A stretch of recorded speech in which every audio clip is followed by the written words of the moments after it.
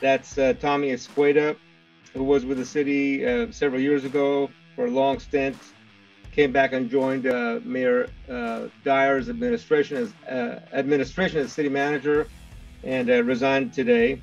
And this is just my opinion. I, I think that the politics is very frustrating because when you're city manager, you have a job to do, and you'll make your best effort, and you want to build support.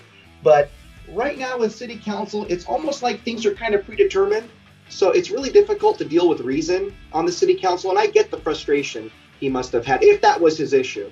As far as Georgeanne White coming in, I brought Georgeanne in White, Georgeanne White in some 20 some odd years ago as my chief of staff. She's absolutely brilliant and she's going to do great things just like Tommy was doing.